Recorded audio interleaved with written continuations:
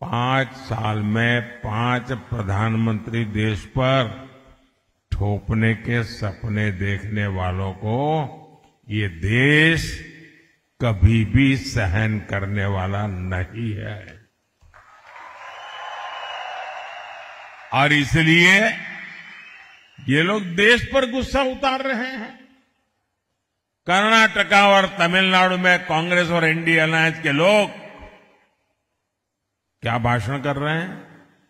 दक्षिण भारत को तोड़कर अलग देश बनाने की मांग कर रहे हैं। आप मुझे बताइए, अहद पेशावर अहद पेशावर, तहत तंजावर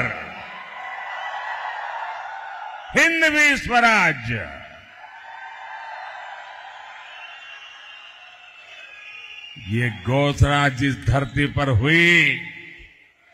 छत्रपति शिवाजी महाराज की धरती। क्या कभी भी कांग्रेस के ऐसे एजेंडे को स्वीकार करेगी क्या? इन्हें जवाब मिलना चाहिए। मिलेगा कि नहीं मिलेगा? तगड़ा जवाब मिलेगा।